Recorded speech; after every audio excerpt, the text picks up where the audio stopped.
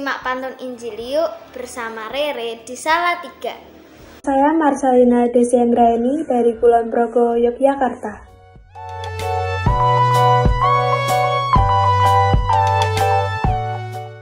Pantun Injili, Senin 5 Agustus 2024 Dari Injil Matius bab 14 ayat 13 sampai 21.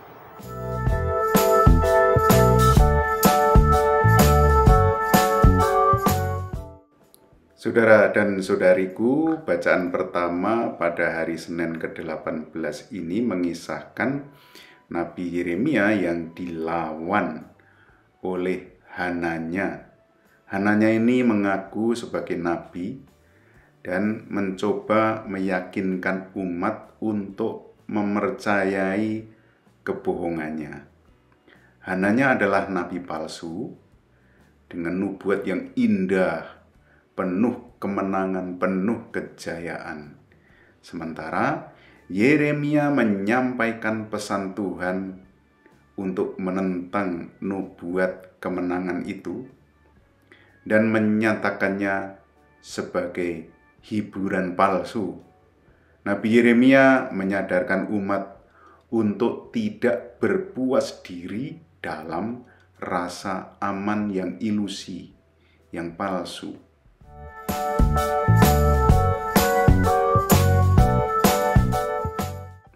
Umumnya memang tawaran kejayaan, kenyamanan, kemenangan seperti yang diserukan oleh Hananya lebih menarik, lebih memikat untuk diikuti. Padahal tawaran itu sering kali merupakan usaha bersembunyi dari kesulitan karena tidak bisa menerima kenyataan yang pahit tidak bisa menerima penderitaan. Orang beriman tidak boleh lari menghindar apabila menghadapi kesulitan, apalagi hanya menyalahkan orang lain dalam situasi sulit. Yeremia teguh hati dan terlibat serta menyerukan untuk menghadapi kenyataan sesulit apa pun sebagai jalan untuk berserah diri pada kerahiman Tuhan.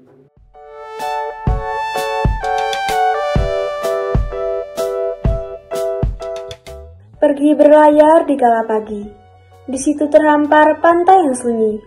Yesus hendak mengasingkan diri, tapi orang banyak tetap mengikuti.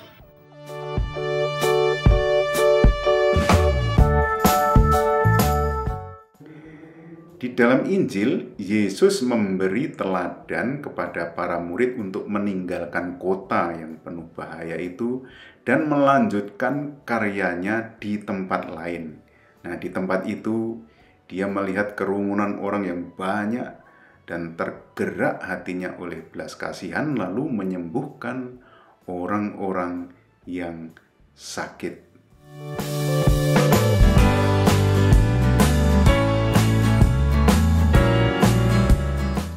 perahu menuju ke tempat yang tenang. Orang banyak mengikuti penuh semangat. Yesus terharu tergerak kasih sayang. Mereka yang sakit disembuhkan cepat.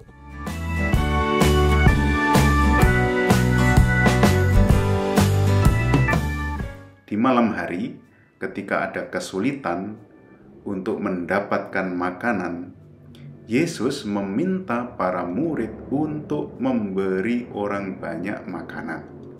Meski bagi para murid hal itu sulit, tidak mungkin untuk dilakukan, mereka hanya punya lima roti dan dua ikan. Sementara orang yang ada lebih dari lima ribuan.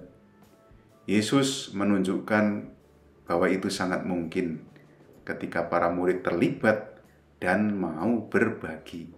Setelah Yesus memberkati makanan tersebut, para murid membagikannya, dan semua orang ternyata makan hingga kenyang, bahkan masih ada sisa.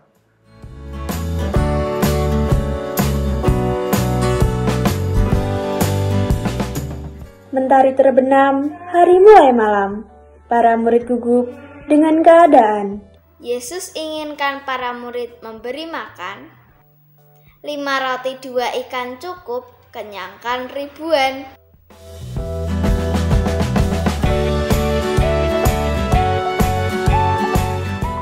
Saudara dan saudariku, berbagi adalah perintah utama di dalam ajaran Yesus, di dalam ajaran Kristiani.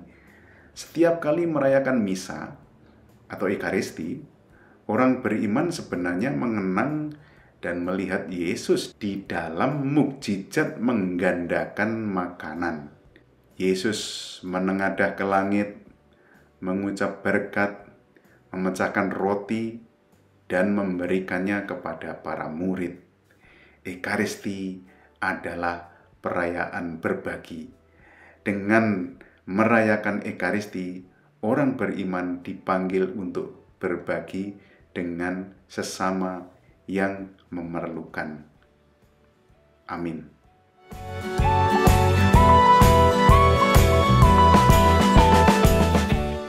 Salam seroja. Berkah dalam. Terima kasih. Dadah.